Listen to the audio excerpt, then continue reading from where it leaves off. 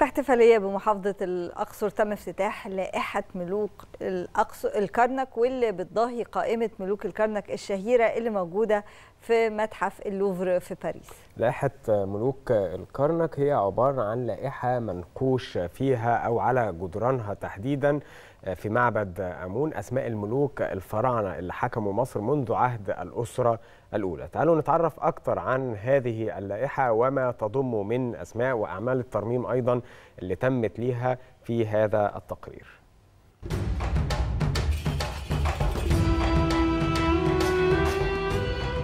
منطقة معابد الكرنك بمحافظة الأقصر شهدت افتتاح لائحة ملوك الكرنك التي تضاهي قائمة ملوك الكرنك الشهيرة المتواجدة في متحف اللوفر في باريس وذلك عقب الانتهاء من أعمال الصيانة والترميمات لها خلال الفترة الماضية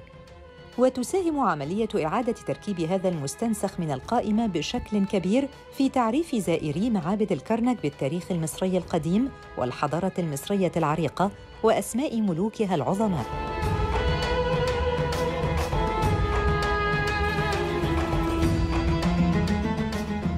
وبعد الافتتاح رسمياً توافد السياح واستقبلت معابد الكرنك أول فوج سياحي أمريكي لزيارة مستنسخ لقائمة ملوك الكرنك. ولائحة ملوك الكرنك هي عبارة عن قائمة منقوشة على جدران معبد آمون وتتضمن أسماء الفراعنة الذين حكموا مصر منذ عهد الأسرة الأولى كما تشتمل أيضاً على ظهور الملك تحتمس الثالث وهو يقدم قرابين على أرواح 61 ملكاً